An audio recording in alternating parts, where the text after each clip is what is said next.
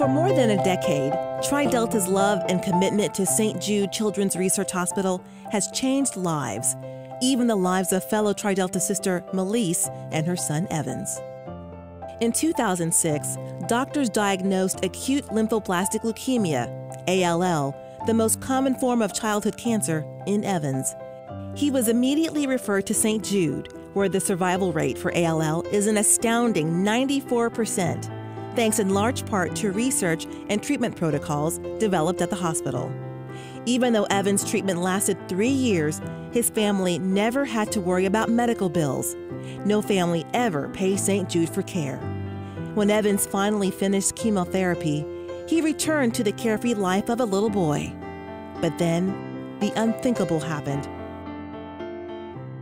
a relapse.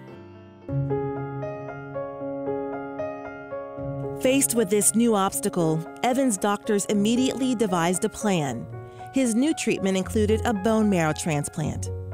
After undergoing this procedure, Evans had a month long recovery, allowing him to spend time in a very special place the Tri Delta sponsored inpatient floor in the Chili's Care Center at St. Jude Children's Research Hospital.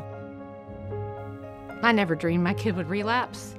I never dreamed um, that I would be on that floor and I'm so thankful it's there. We would walk around the floor, and uh, Evans would look at all the different chapters over the doors because he thinks Tri-Delt girls are the cutest girls in the whole world. I like to read all the plaques um, about who, what college donated that room.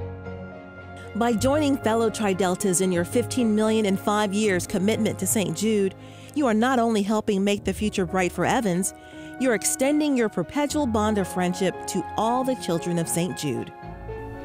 Means a lot because they're saving other kids' life and mine. I'm just so thankful for everything they do. I'm so thankful for what they provided our family.